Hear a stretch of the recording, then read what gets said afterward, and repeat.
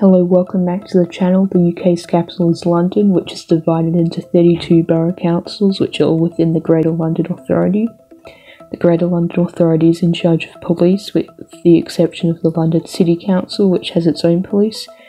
The uh, Greater London Council is also in charge of fire and public transport.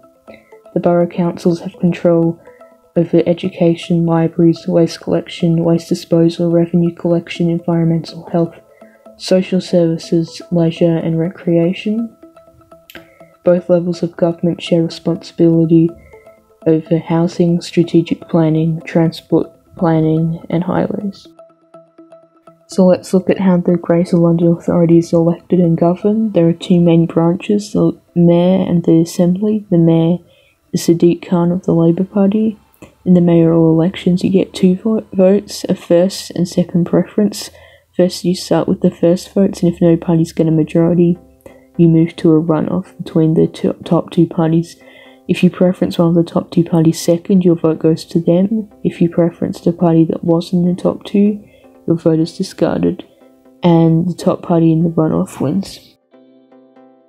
The other branch is the London Assembly. The Assembly's role is to scrutinise the Mayor and their policies. The Assembly has 25 members, 14 elected in constituencies, and 11 elected proportionally. The Greens have 3 seats, Labour has 11 seats, the Liberal Democrats have 2 seats, and the Conservatives have 9 seats. Thank you for watching.